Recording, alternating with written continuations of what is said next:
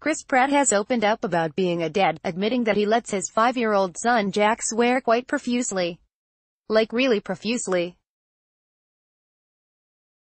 The Jurassic World Fallen Kingdom star appears on The Graham Norton Show this evening, May 25, and discusses letting his young child swear.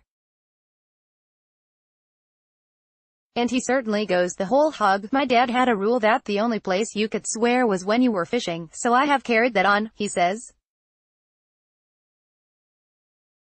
Advertisement, continue reading below. I was out on the lake with my son and he caught a fish. The fish flopped about and its fin poked my son, who ends up crying. I tell him it is okay to swear so he says, Dad, I am about to swear. That bass is stupid, I encourage him so he says.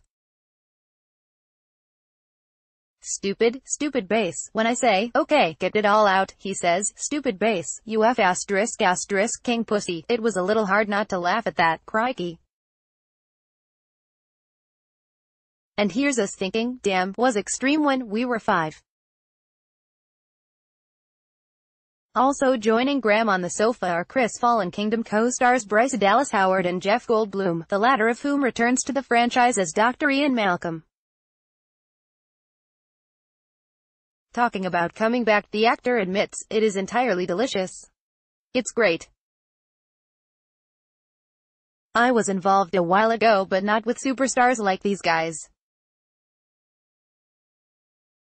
I had a great time coming back. The Graham Norton Show airs tonight on BBC One at 10.35 p.m.